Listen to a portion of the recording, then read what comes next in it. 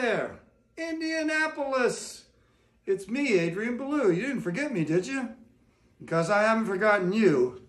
I really can't wait to come and play for you again. It's going to be July 16th at the Hi-Fi Annex. I will have my superb power trio with you. I'll do also an acoustic set in the middle of the show to play some of the new material from my new record, Elevator. I can't wait to have you there and see you again. I really have missed you all, so don't miss this.